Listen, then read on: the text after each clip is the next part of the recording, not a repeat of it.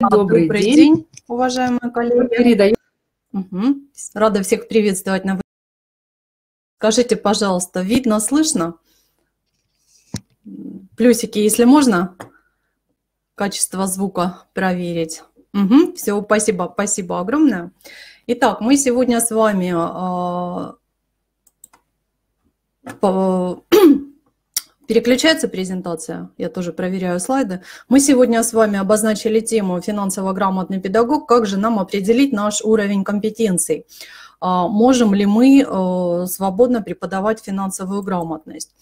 А, для начала я вам вывешивала, да, вы уже познакомились, э, кратко о себе, не буду долго рассказывать, потому что, в принципе, мы уже работаем э, с вами долгое время. Но кто только что к нам присоединился, кратко обо мне вот здесь на страничке есть. Кто хочет познакомиться шире, да, то есть э, и свои компетенции немножко проверить в электронных продуктах или ИКТ, как сейчас называют, можете пройти по ссылке или по QR-коду коду на подлет доску, а, это электронная доска, где я приготовила для вас а, страничку, ну, хотите, оставьте о себе а, тоже сведения, ну, такой небольшой коворкинг, да, то есть общение Расскажите о себе, о ваших проектах. И, э, в принципе, а, сейчас очень часто используют такой инструмент а, для того, чтобы объединяться в различные другие проекты. То есть вдруг мы будем какие-то проекты а, осуществлять вместе, уже интересно, коллеги о себе представились на этой доске. И если вы хотите участвовать в жизни сообщества «Финансовая грамотность для педагога», я приглашаю вас в группы. Бонусом участников вебинара там все презентации вебинаров, которые у нас вообще проходили, на площадке Директ Академии, они все есть в группе в открытом доступе. Группа есть ВКонтакте и группа есть в Фейсбуке. Кому где удобнее, можете присоединяться. А мы начинаем работу по нашей теме. Итак, финансово грамотный педагог. А, ну, звучит а, достаточно серьезно, да, то есть а, сейчас финансовая грамотность уже развита на уровне а, не только России, но и, стра и мира, да, то есть а, программы по развитию финансовой грамотности. В нашей стране финансовая грамотность а, началась с проекта Министерства финансов, ну, где-то официально, да, с 2011 года проект по повышению финансовой грамотности именно инициировало Министерство финансов и вот вы видите первый нормативный документ, что уже в 2017 году на уровне государства, да, то есть на уровне правительства, была утверждена стратегия повышения финансовой грамотности в Российской Федерации и э, разработан план мероприятий по реализации этой стратегии. Мы сегодня на нем тоже остановимся, это второй пункт. Все ссылки в презентации, они активны. Если вы скачаете презентацию, вы по каждой ссылочке сможете пройти. И э, обратите внимание, что из, план мероприятий был обновлен вот, э, по реализации стратегии. В прошлом году, в марте месяце, было, были вывешены новые пункты. Почему я говорю об этих документах? Потому что э, в плане мероприятий по реализации стратегии повышения финансовой грамотности, мы дальше с вами будем говорить, уже внесены изменения и э, как раз-таки э, внесены коррективы именно в государственные образовательные стандарты. Вы в курсе, да, что есть уже проекты стандартов э, нового, нового поколения, и в этих стандартах в обязательном порядке э, говорится о финансовой грамотности на, во всех уровнях образования, от школы, ой, от садика до вуза. А в ВУЗе уже э, по некоторым направлениям бакалавриата стандарты введены э, третьего поколения, да, там три с тремя плюсами, и уже введены универсальные компетенции. А все федеральные стандарты э, государственные образовательные стандарты можно найти на сайте в ГОС.ру. А, я вчера буквально проверяла, еще новых стандартов нет, да, хотя уже э, второй год говорят о том, что проекты этих стандартов существуют. Кроме этого, на что мы ориентируемся? Конечно же, мы ориентируемся на профессиональный стандарт педагог, в сфере дошкольного, начального, общего, основного, общего и среднего образования, ну, в том числе воспитатель, учитель, библиотекарь. И рядом с этим стандартом мы сразу же да, для разработки должностных инструкций, вы, я думаю, что с этим все знакомы, у нас есть единый квалификационный справочник должностей именно работников образования. А, кроме этого, а, на сайте а, в Госреестр у нас есть реестр примерных основных общеобразовательных программ. Если вы туда пройдете и наберете там в поиске, допустим, финансовая грамотность, то вы увидите, что в прошлом году в этот реестр были добавлены две программы по финансовой грамотности для школы. Это финансовая грамотность э, в мире, ну, как бы общий такой курс, и финансовая грамотность именно в цифровом мире. И если э, вы присутствовали на различных методических семинарах или сами изучали в ГОСы э, основные образовательные программы, э, закон об образовании, то мы все с вами уже четко знаем, что везде прописаны, а, плюс стандарт педагога и квалифик, э, квалификационный справочник, везде прописаны компетенции ИКТ, да, то есть информационные а, технологии, а, интерактивные технологии, все это уже прописано в стандартах. Но вот финансовая грамотность вот в чистом виде, в стандартах, только в проектах стандартов, которые нам тоже пока не показывают. Но э, уже на всех уровнях мы э, слышим, знаем, что нам нужно быть финансово грамотными и есть компетенции. На что же ориентироваться? А, каждый регион, в каждом регионе да, э, есть Институт развития образования, и они ежегодно выпускают, перед новым учебным годом, выпускают методические рекомендации для руководящих и педагогических работников. Можно ориентироваться на них. Ну, допустим, вот э, в Ставропольском крае а, Институт развития образования, он четко прописал, на каком уровне можно преподавать финансовую грамотность. А, что э, так, вот вы знаете, я что сюда еще не включила, но потом а, напомните мне в конце, я сброшу ссылочку. В других моих презентациях это есть. А, в эту я забыла этот пункт, вот э, воспитатели. Для дошкольных педагогов а, нету общей образовательной программы в плане именно финансовой грамотности, но есть методические рекомендации, разработанные Министерством просвещения именно для преподавания, для экономического воспитания детей. Об этом а, чуть позже, э, тогда напомните мне, я вам в конце вебинара ссылочку пришлю. Либо заходите в наши группы, там все эти презентации есть, и в каждой практической презентации там есть ссылочка на эти метод рекомендаций. Итак, что же такое финансовая грамотность? В стратегии э, развития, повышения финансовой грамотности э, в Российской Федерации, которая вот будет действовать до 2023 года, дано вот такое определение. Если внимательно его прочитать, то э, я думаю, что можно увидеть, что здесь именно нам нужно обладать такими знаниями, чтобы принимать успешные финансовые решения.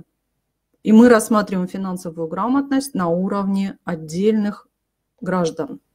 То есть это не финансовая грамотность там какой-то организации, это финансовая грамотность отдельно взятого гражданина страны. И именно на это направлена вся стратегия, то есть повышение финансовой грамотности граждан. И я предлагаю рассматривать э, вначале свои личные компетенции, и мы об этом будем говорить дальше.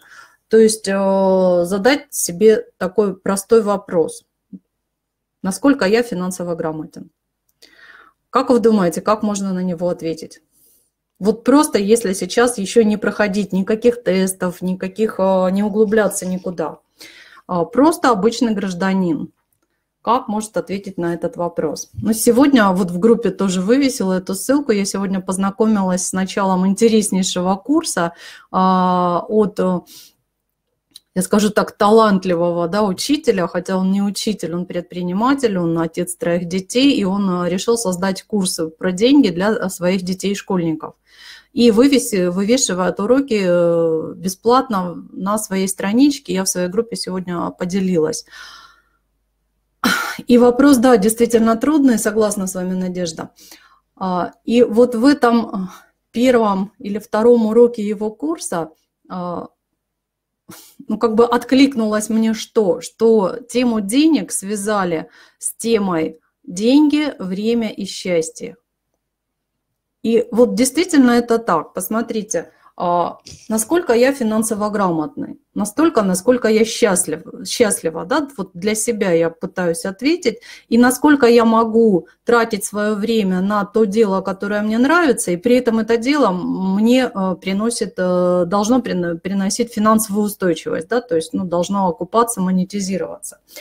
Либо я зарабатываю на чем-то другом и занимаюсь параллельно еще какими-то социальными проектами, как, например, вот этот проект социально финансово грамотный педагог. Ну, я считаю, что это социальный проект, потому что он не монетизирован, а это посыл как бы от меня для того, чтобы педагоги могли ориентироваться.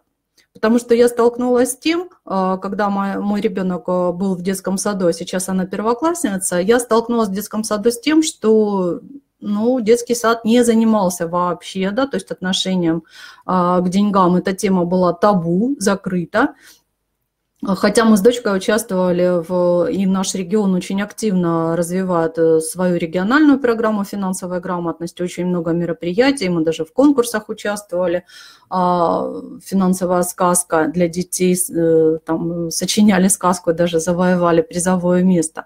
Но когда мы как бы с этим дипломом там решили похвастаться в детском саду, то я увидела, что ну вот как бы эта тема такая табу до сих пор, хотя уже очень много регионов и очень много детских садов, школ все-таки включаются в этот процесс. Но тем не менее эта тема остается достаточно сложной. Это связано и с менталитетом, наверное, и с эм, тем, что у нас все-таки нестабильная, скажем так, экономическая обстановка. Поэтому Каждый человек должен попытаться сам ответить на этот вопрос. Но самое главное, я думаю, что человек, как бы финансово грамотный человек, он должен быть счастлив. То есть а, вот, э, но это не значит, что деньги равно счастью. Это значит, что деньги должны помогать быть просто счастливым и э, не задумываться о завтрашнем дне. А для этого нужно уметь ими управлять, этими деньгами, создавать капитал, создавать финансовую подушку. Ну и давайте немножко посмотрим. А, я сегодня хочу рассказать вам о проектах а, Министерства финансов. А, это самый основной проект на Министерство финансов на, э, создан портал «Ваши финансы». И этот портал, его можно изучать несколько недель. Вот здесь ниже видно, всем ссылочка ниже, вашефинансы.ру, стратегия. Да? То есть э, я взяла рисунок прямо с этого портала, вы, зайдя по ссылочке, можете кратко вот с этой стратегией, о которой мы говорили, познакомиться. То есть э, финансово грамотный гражданин, посмотрите, сколько всего много должен знать и делать. То есть, э, ну, в целом, о чем я говорила, это умение управлять своими деньгами. И самое главное, неважно, сколько вы денег за, зарабатываете, как говорят э, богатые инвесторы, да, то есть э, прежде всего платите себе.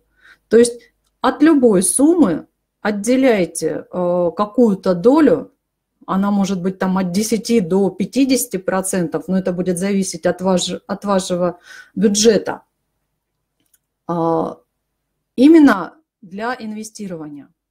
Пусть это будет просто, даже просто э, для начала, да, если вы не разбираетесь, что такое инвестирование и накопление, для начала просто разделите ваши доходы на несколько конвертов, да, есть такое правило трех конвертов. То есть когда вы э, в один конверт самые э, необходимые расходы, то есть там, допустим, питание и коммунальные платежи. Второй конверт – это какие-то ваши, ну, такие расходы, тоже они относятся к важным, но уже запланированы, чуть растянуты по времени. И третий конверт обязательно должен быть э, НЗ, да, то есть такой недотрагиваемый запас, э, э, который называется финансовой подушкой. Вот эту финансовую подушку нужно учиться хранить не, не, не просто в конверте, да, а хранить в каких-то инструментах финансовых. Но прошлый год показывает нам э, то, что даже государство уже забеспокоилось когда приняли закон о вкладах, да, о налогообложении доходов по вкладам свыше, э, депозитам свыше 1 миллиона рублей, что будет облагаться этот доход, если ваш депозит свыше 1 миллиона рублей, и вот эти проценты с, со свыше 1 миллиона рублей будут облагаться НДФЛ. Граждане резко начали снимать все сложится в один конверт, но не всегда. Вот э, я вам сразу скажу, что множество примеров в жизни, э, что люди с миллионными доходами, они не умеют управлять своими деньгами. То есть эти миллионы как приходят, так и уходят, потому что люди все время потакают своим, э, скажем так, прихотям и не умеют ранжировать свои желания, да? то есть разделить, что хочется и что надо. Вот с этого вообще мы начинаем в детском саду обучать. Вот, вот это самое главное, что когда мы должны в соответствии со своим бюджетом вот это «хочу» и «надо» разделить. И тогда вот этот один конвертик можно оставить а, для того, чтобы создать себе небольшую финансовую подушку. Почему я об этом говорю? Это не только я говорю, потому что э, у нас есть э, институт э, в целом и в России, и за рубежом, да, то есть э, Организация экономического развития и сотрудничества ввела такой показатель, как индекс финансовой грамотности. Посмотрите, пожалуйста, вы э, на карте «Наши финансы» можете найти вот этот индекс финансовой грамотности, причем обратите сейчас внимание, так, вот я вберу указку, не знаю, будет вам видно, а, вот, вот он, этот, э, эта шкала, если вы зайдете, то вы можете э, здесь выбрать Россию, можете выбрать любой регион, можете выбрать э, показатели, которые вы хотите посмотреть, и в целом по России, либо по регионам, и там ниже еще будет карта обозначения. Вот этот индекс финансовой грамотности складывается в соответствии с международной методикой из знаний, навыков и установок. И мы сегодня об этом тоже будем говорить. И в целом шкала индекса максимальная 21 балл. А Россия сейчас где-то занимает примерно девятое место в мире вот по а, среди э, стран, которые э, рассчитывают индекс финансовой грамотности, проводят это исследование. И вот в 2019 году индекс финансовой грамотности ну, где-то увеличился по сравнению с 2018 годом на 2%. Но в прошлом году да, да, и в этом году продолжаются. У нас, ну, во всем мире, не только у нас, э, пандемия и нестабильная финансовая обстановка, которая, ну, скажем так, э, съела у многих все финансовые запасы. Вот именно из-за таких установок, из-за таких обстановок э, мы как бы должны вот об этом конверте всегда думать, да, насколько, какой продолжительности у нас будут финансовые запасы. Если говорить об исследованиях по России, то вот на лето прошлого года россияне отвечали, что э, по, по опросам Центра э, аналитики, аналитического центра НАФИ, а, здесь я привела вот э, тоже ссылочку, посмотрите, они вывешивают все исследования, их даже можно скачать с их сайта. Они э, проводили опрос э, населения 85 субъектов, то есть было опрошено порядка 85 тысяч респондентов, ну, другими словами, человек. И люди говорили о чем? О том, что 34% вообще не понимают связь между доходностью и риском, 31%, 31 э, опрошенных владельцев карт сталкивался с попытками мошенничества, 60% вообще не заботятся о своих персональных данных. И россияне склонны переоценивать свою финансовую грамотность. Ну, то есть мы говорим, что мы финансово грамотны, но тогда у нас вопрос возникает, а почему же у нас нет денег? Несмотря на наши доходы, я вам сейчас говорю, что с любыми доходами можно пытаться управлять своими делами. И чем э, лучше вы будете управлять, тем выше, в конце концов, у вас доходы будут, и будут э, мысли, как повысить свой доход, да, то есть дополнительные источники доход, дохода появятся. Несмотря на то, что уровень финансовой грамотности по опросу э, вырос, здесь мы можем говорить о том, что в среднем в среднем в прошлом году в случае потери основного источника дохода а, только 42% россиян могли оплачивать все необходимые расходы без займов у близких и оформления кредитов. Если мы говорим а, о финансовой подушке, то при потере работы, вот задумайтесь, да, если вы сегодня потеряете работу, то есть основной источник дохода, насколько вам хватит ваших финансовых ресурсов?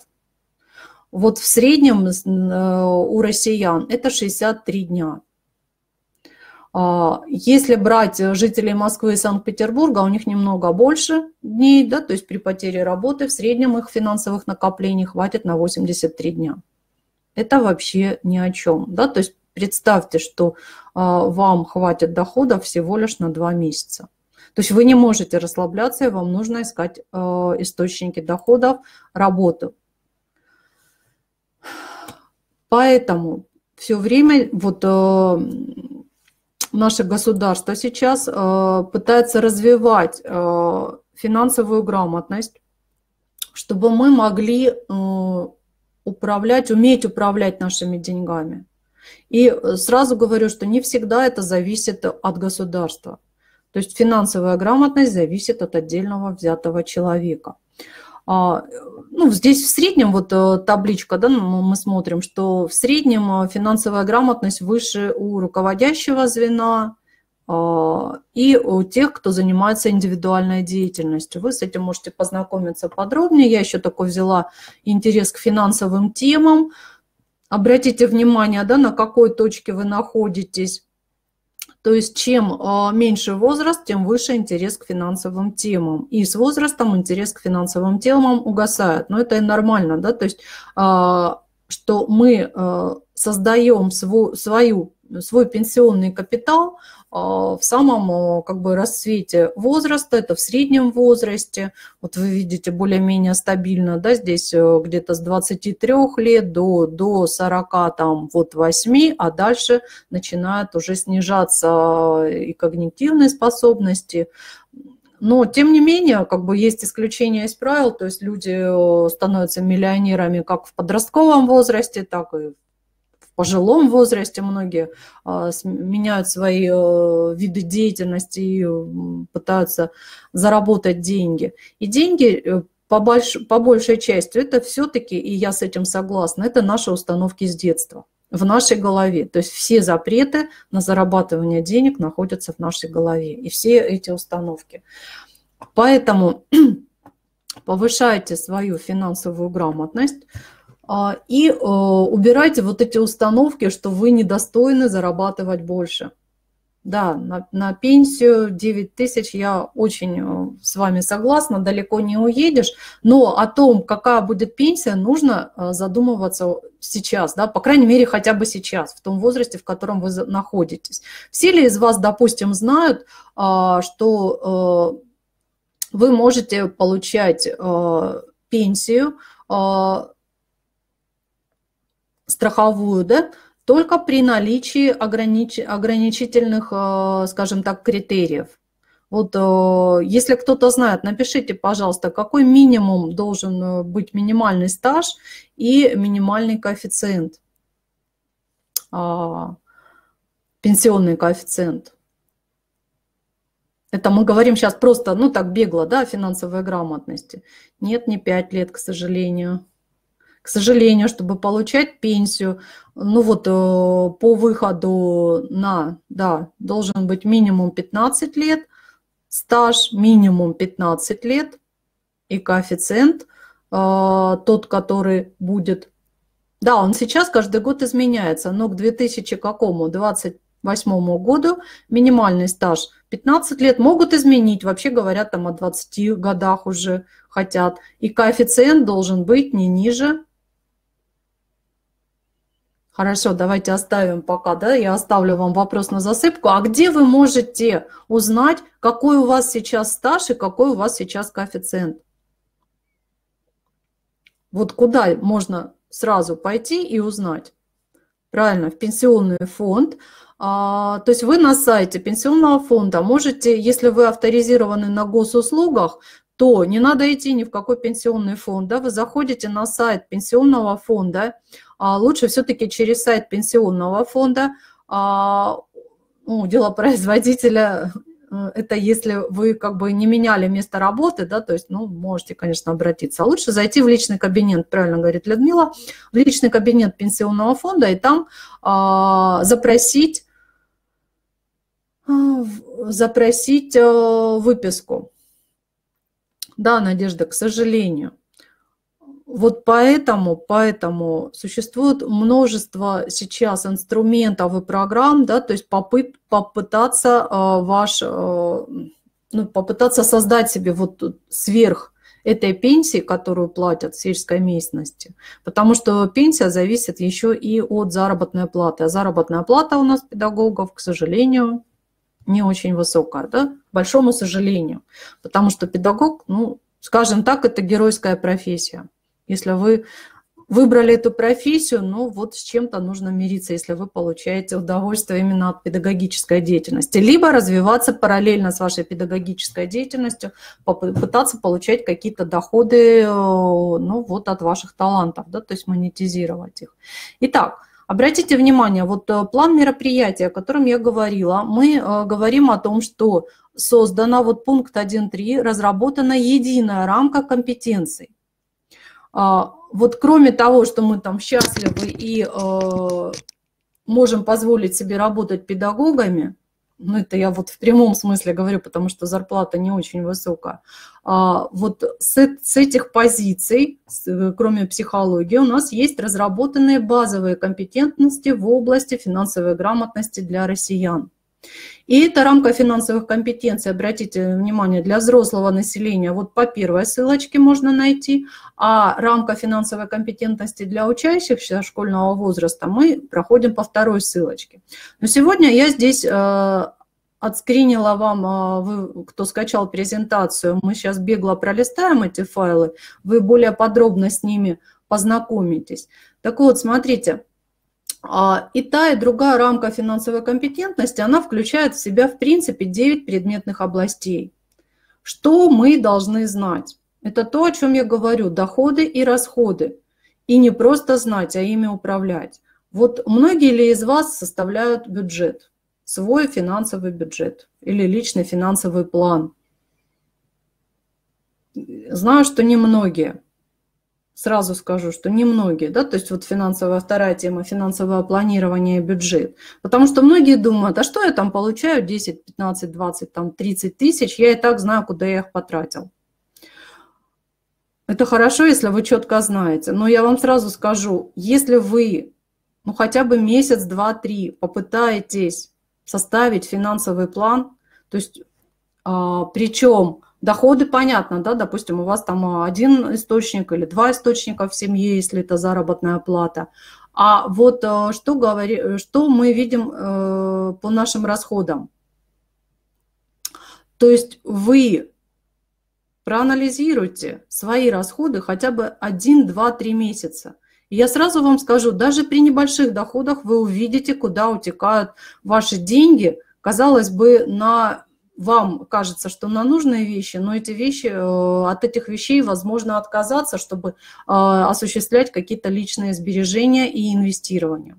То есть вот тема личные сбережения после того, как вы научитесь видеть разницу между вашими доходами и расходами. То есть эта разница, это и есть личные сбережения.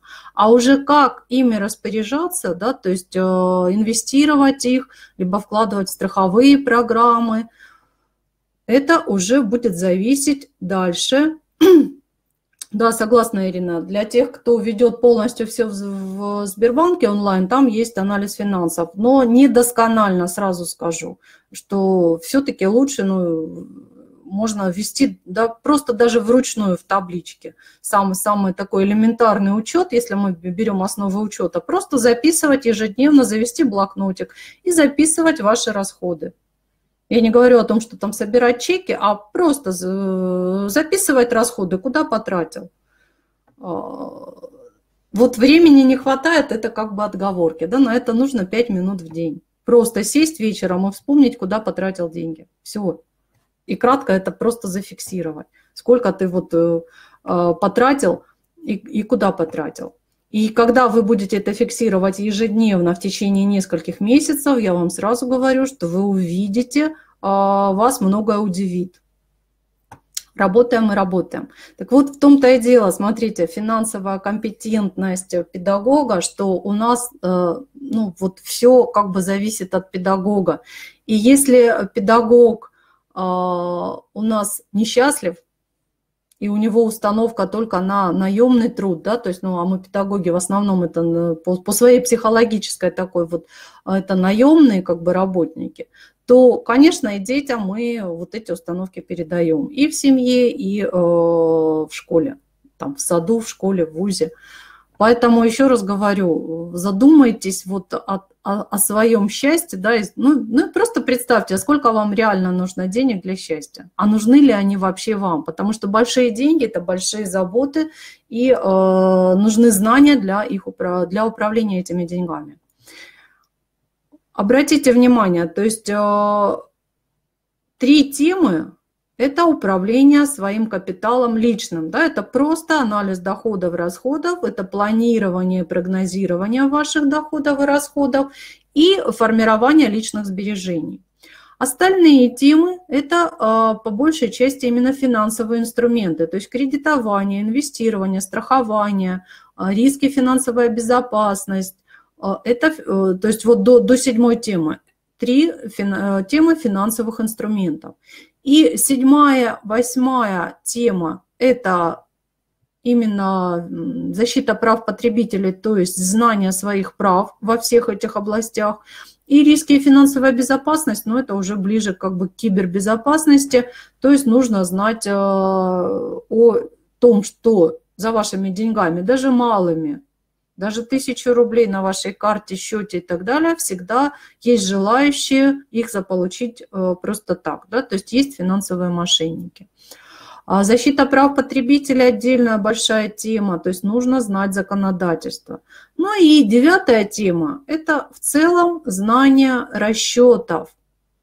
Да, с пятой темы по, по девятую сложности. Конечно, сложности – это уже действительно базовые знания.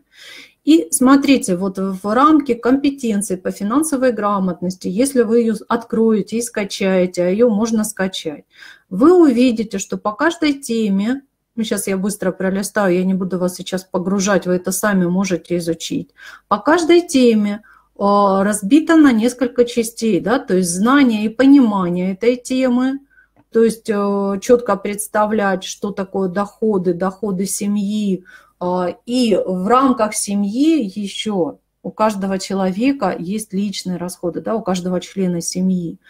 А, это вот базовые знания. Есть продвинутый уровень.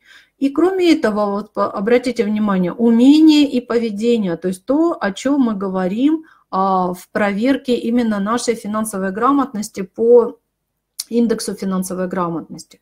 То есть знание и понимание – это одна составляющая, умение и как вы, как вы применяете эти умения, знания и э, в, свое, в своем экономическом поведении – это вот вторая составляющая. И третья составляющая – это ваши личные установки. То, о чем я говорю, что деньги – это психо, психология. Да, то есть вы как бы, э, как вы мотивируете вообще сами себя, умеете ли вы вообще э, различать вот эти ваши краткосрочные, долгосрочные потребности, умеете ли вы ставить финансовые цели. Вот в каждом направлении это все четко расписано в рамке этих компетенций. Ну, это для, для вас, как бы, если вы хотите больше углубляться с точки, с позиции именно компетенций. А, мы говорим, вот видите, в каждой теме, вы это все в презентации пролистаете, четко расписано минимум и максимум информации, которую вы должны знать. На этом я сейчас останавливаться не буду. Я хочу остановиться сейчас вот на чем. А, коллеги э, из Центра методического, Федерального методического центра по финансовой грамотности Высшей школы экономики э, разработали курс для учителей э, всех уровней обучения по именно финансовой грамотности. Он доступен на сайте этого курса, дальше у меня здесь будут ссылочки. Так вот, они предлагают заняться для начала, ну, скажем так, самооценкой знаний по финансовой грамотности. То есть по всем этим темам вот такая простенькая табличка. Вы можете ее себе скопировать из презентации. А можете зайти на этот сайт, но у них там в PDF-варианте это тоже табличка. Вот себе такую табличку копируете и попытайтесь до прохождения всех тестов, которые, э, которых я, я вам сейчас, о которых буду рассказывать, сами оцените вот по той рамке финансовых компетенций, просто пройдитесь и сами поставьте себе оценку. И здесь вот пробелы в знаниях для себя, честно, да, эту табличку никто не увидит. Это ваша работа над собой. Проставьте пробелы в знаниях и где их восполнить. То есть после того, как мы сейчас вот вебинар закончим, у вас уже будут ссылки, да, где восполнять эти пробелы. И так как я консультант-методист по финансовой грамотности для взрослого населения, то я вам буду давать э, эти ссылки, даю только а, те, которые э, именно рекомендуются в рамках проекта по а, повышению финансовой грамотности. Вот такую табличку это именно знание финансовой грамотности. Но мы же с вами преподаватели. И поэтому в методических рекомендациях к курсу, который разработан Высшей школой экономики, вот этим федеральным методическим центром, а, они рекомендуют еще одну табличку. Это а, уже проверка не просто знаний по финансовой грамотности, а э, знаний методик преподавания финансовой грамотности, знаний а, интерактивных инструментов, а, знаний источников, где их можно получить. Но это отдельная тема вебинара, я сегодня ее затрагивать не буду. Приходите на наш следующий вебинар, он будет 19 февраля. Посмотрите, там, я не знаю, в анонсе появилось, нет. А, я обозначила тему как функциональная финансовая грамотность. И вот именно разработка всех заданий, э, видов заданий от, от садика до школы мы э, будем рассматривать на вебинаре э, в феврале. Поэтому я вас заранее приглашаю. А сейчас займитесь, пожалуйста, именно вот оценкой своих знаний с точки зрения вот этих тем, с точки зрения знания взрослого населения. Только после того, как вы сами знаете да, и умеете управлять своими финансами, можно переходить к преподаванию финансовой грамотности, то есть к пониманию, да, что мы преподаем. А теперь с источниками. Вот в рамках проекта, мы уже, я вам ссылочку там в самом начале давала, как же проверить, если вы, э, ну, кратко, да, оценили себя, а теперь э, хотите проверить с точки зрения специалистов, да, по финансам, где у вас пробилы, если вы сами их оценить не можете, то на портале «Дружи с финансами» я вот ссылочку на этот портал привожу. Есть такое меню. Я побоялась сегодня тестировать платформу, так как первый раз на этой платформе демонстрацию экрана побоялась тестировать, поэтому я скринами сразу в презентации. Ну, думаю, вам для памяти это тоже хорошо. То есть, видите, стрелочка такая жирная. Я указываю, что в этом меню вы выбираете раздел «Финтест», Здесь много других разделов, вы можете там неделями их изучать. А, и очень много полезных и проверенных, именно рекомендуемых экспертами материалов. Так вот, вы э, заходите в раздел «Финансовое тестирование». Я сейчас прямо... Так, сейчас, секундочку, я на сайт э, загружала. А, посмотрите пока на разделы, а я сейчас вам ссылочку хочу сбросить активную в чат. Так. А, ваши финансы. Вот смотрите, вот сюда, если вы входите на портал «Ваши финансы» и проходите, становитесь на финтест, то вы попадаете на портал финансового тестирования. Так, и я вот вам сейчас сразу ссылочки сбрасываю. Вы попадаете вот сюда, на портал финансового тестирования. Вот он, этот портал. У него тоже есть меню. И вы видите, в меню у меня уже вот здесь синеньким светится учитель там, Дьякова ЮН. А, сразу сейчас вы туда зайдете, и вам предложат зарегистрироваться, если вы там ни разу не были. Вы регистрируетесь, указываете, какой у вас уровень образования и кто вы, да, то есть в каком, с какой позиции вы будете проходить тестирование, школьники, студенты или учитель. учитель. Лучше сразу регистрироваться учителем, указывать свой, свой регион и э, кроме региона, там надо, кажется, образовательное учреждение указывать. То есть вы регистрируетесь, авторизируетесь, и потом проходите, смотрите, вот сюда раздел «Тесты». Видно, стрелочка я показываю, оранжевая стрелочка на меню показывает а, раздел «Тесты». Вот я сейчас пройду в этот раздел «Тесты», и у нас там высветится, смотрите, а я дальше на скринах вам показываю. Когда вы пройдете в раздел «Тесты», то у вас я вам сейчас скину эту ссылочку тоже в чат. Ну, воспитателей нет, это учитель, учитель будет, да, то есть это в целом, ну, как бы я говорю для категории э, взрослого населения, чтобы вы могли протестировать себя вот с тех позиций, о которых мы говорили. То есть тесты разработаны в соответствии с этой рамкой компетенций для взрослого населения. Но уровень тестов здесь разный. Если воспитатель, вы тоже заходите в учителя. Да? То есть учитель, э, и э, вы увидите вот сразу все эти категории тестирования. А вы можете пройти по каждой теме, протестироваться по каждой теме, но это достаточно долго. А есть вот такой, смотрите, раздел, я прямо желтой этой стрелочкой показываю, комплексное тестирование. Можете начать с него комплексное тестирование. Я вам сейчас сразу в него захожу и ссылочку эту активную тоже. Ну, если кто авторизировался уже, то вы можете попасть сюда. Сейчас я вам сбрасываю. А мы идем дальше по презентации. И когда вы попадаете в комплексное тестирование, вот ссылочку я продублировала, то что вы видите? Что здесь у вас? Вы можете протестировать себя как с базового уровня для учащихся школьного возраста, так и продвинутый уровень, э, заканчивая продвинутым уровнем для взрослых по финансовой грамотности. А здесь э, вот в продвинутом уровне 36 вопросов, для школьников 27 и 29, для взрослых 36 вопросов. Это о том, как проверить свои компетенции. Это вот, ну, как бы такой а, тест по рамке финансовых компетенций, уже разработанный специалистами. И вам сразу будут выданы потом а, ваш результат и будут выданы рекомендации, в каких темах у вас пробилы. То есть это то, что я рекомендую начать именно с себя, да, свое финансовое образование, базов, базовый такой уровень финансовой грамотности. Это э, один вариант. А, кроме этого, а, на сайте «Ваши финансы», сейчас еще раз теперь на него вернусь, на сайте «Ваши финансы» можно найти э, другие варианты тестов.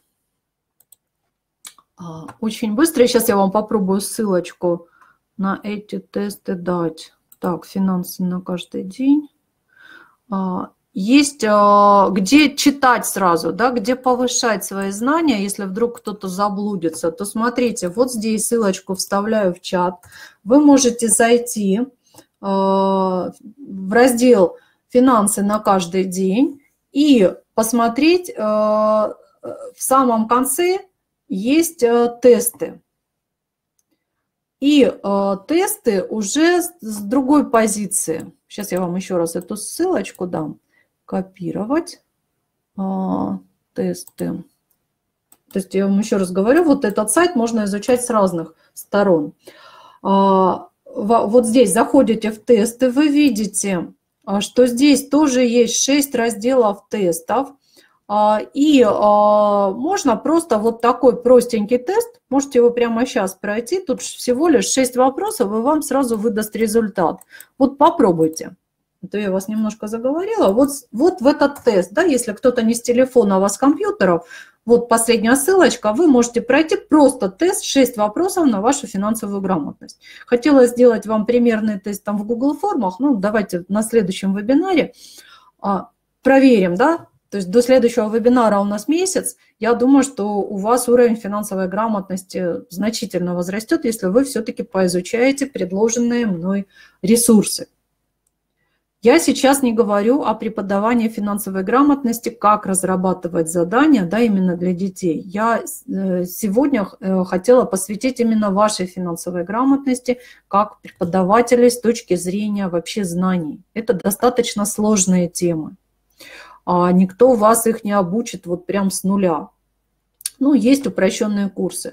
То есть вот эти все ссылочки на этом портале а, вы можете проверить. Кто-то прошел тест, Кроме этого портала, у нас есть портал «Хочу, могу, знаю», тоже портал по финансовой грамотности, а, разработанный тоже э, совместно с э, Минфином, э, Министерство финансов в рамках вот этого проекта повышения финансовой грамотности и здесь еще Международный банк реконструкции и развития выступил.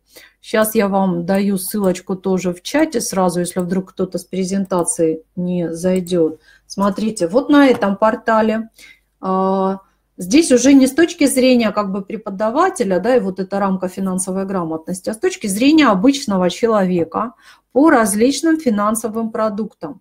Насколько у вас актуальны знания. Сейчас каждый день что-то меняется, какие-то вводятся изменения в законодательство, особенно сейчас вот в конце года ряд был нормативных актов, а, изменилась э, контроль за оборотом денег, э, допустим, изменились налоговые ставки, ввели некоторые новые виды налогов и так далее.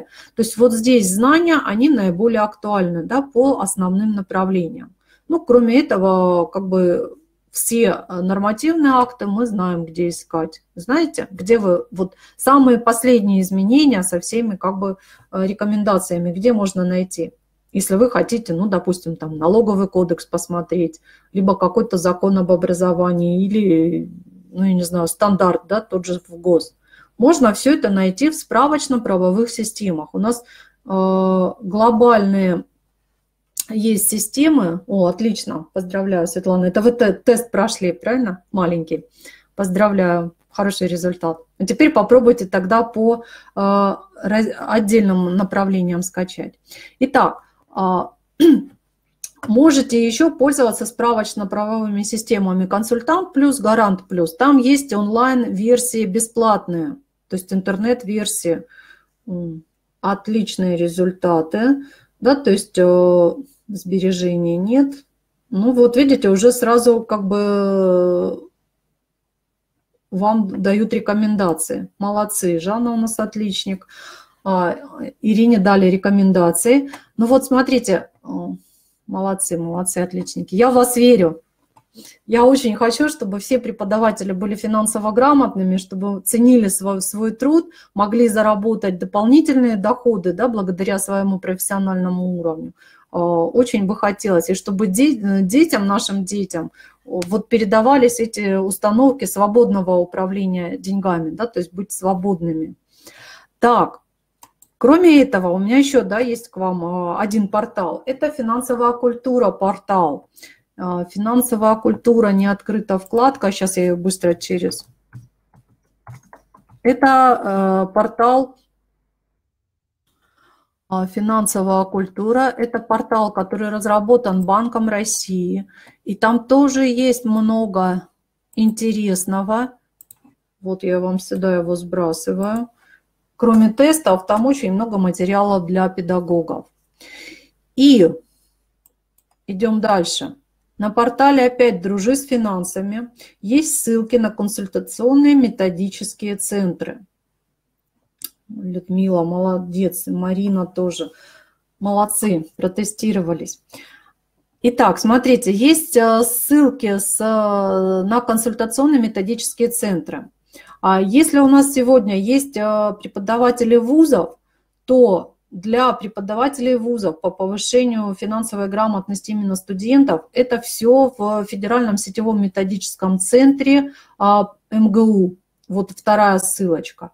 Если мы говорим в целом о системе общего и среднего профессионального образования, то это Федеральный методический центр а, Высшей школы экономики. Вот здесь э, ссылочка первая. А если мы говорим о воспитателях, то вот воспитатели идут в первую очередь Можете зайти э, в группу нашу, да, то есть добавляйтесь в группу ВКонтакте, в основном у нас воспитатели. Ну, можете и в Фейсбуке, у меня материал дублируется. Там очень уже много материалов для воспитателей, ну и для учителей, для всех. Во-первых, я там актуальную информацию по всем конкурсам, по всем э, событиям, которые происходят, финансовые фестивали и так далее, тестирование какое-то общероссийское, чемпионаты по финансовой грамотности. Присоединяйтесь к группам, я всегда рада, да, то есть информация там доступна, тем более там есть все э, ссылочки. Я сейчас пытаюсь э, ссылку вам ту, которую обещала, методические рекомендации для воспитателей. Так, а, попытку дать вам эту ссылку, но вот она где-то вот здесь, методические рекомендации. Нет, сейчас так сразу не найду. Ну давайте я сегодня в группе презентацию обновлю и добавлю в вариант обновленной презентации с этой ссылкой. Либо посмотрите в предыдущих вебинарах, там точно были эти ссылки. А, или через поисковик. То есть э, Министерство просвещения разработало для воспитателей рекомендации. И основные темы для детей разбиты на, две, на два возраста. В предыдущих моих вебинарах мы это обсуждали не раз. Это младшая группа, то есть 5, э, там, 4-5 лет, э, и подготовительная группа 6-7 лет. А, и у них разбиты именно по темам а, так, а, вот оно, это, это я даю вам сейчас а, по, по банку, да. Итак, Смотрите, методические рекомендации Министерства просвещения. Дальше методические рекомендации Института в развитии образования обязательно просматривайте, это для воспитателей. И э, есть программа Банка России для детей 5-7 лет «Экономическое воспитание дошкольников». Вот с этой программой можете познакомиться по ссылке, ее полностью там можно скачать. А здесь основные, а, вот по личным финансам еще я даю ссылку на визу, да, то есть а, международный проект, а, международной платежной системе проект по личным финансам, там книгу можно скачать, банк методических разработок Высшей школы экономики, ну и порталы наши. Кроме этого, я обещала еще поговорить о библиотекарях. Вот буквально одну минутку. Э, для библиотекарей разработана отдельная программа повышения финансовой грамотности именно в информационно-библиотечной среде. А сейчас я попытаюсь сбросить ссылочку для библиотекарей. Есть у нас сегодня кто-то из библиотек? Сейчас а, я ссылки на группы тоже вам сброшу сюда.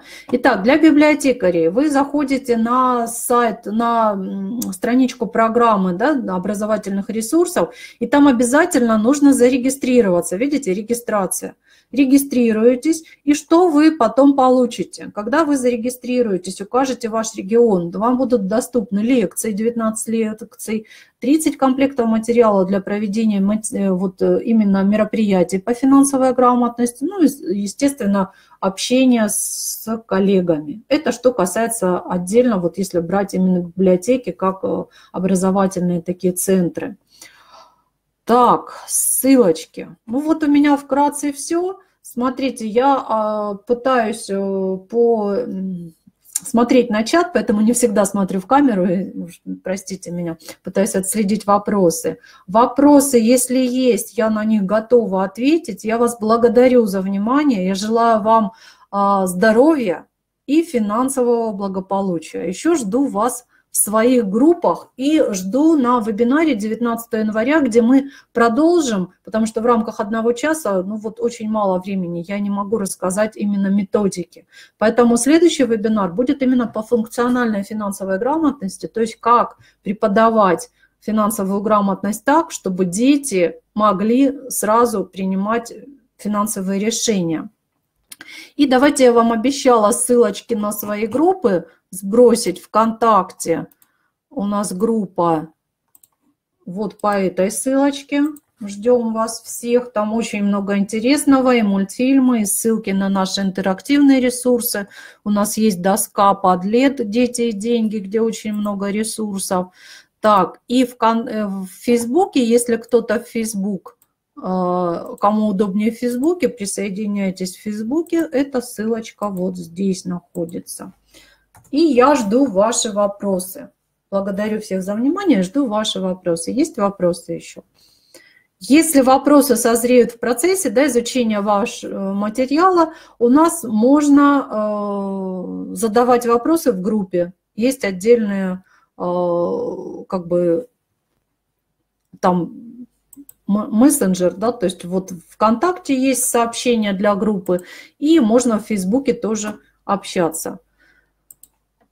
Благодарю вас всех за то, что пришли. Жду на следующем вебинаре. Мне было с вами интересно. Вы молодцы. Спасибо огромное.